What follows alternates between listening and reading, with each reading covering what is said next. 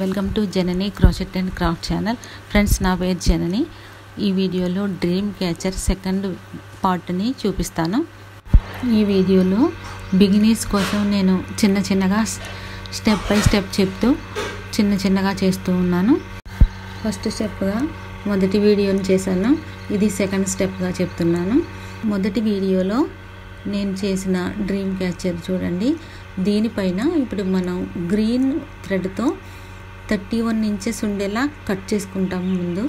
Thread పీసెస్ని ఒక్కొక్కటిగా ఇలా ముడులు వేసి ఇలా చేసుకోవాలి.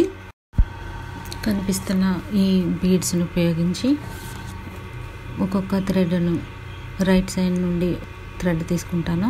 లెఫ్ట్ సైడ్ నుండి ఒకటి.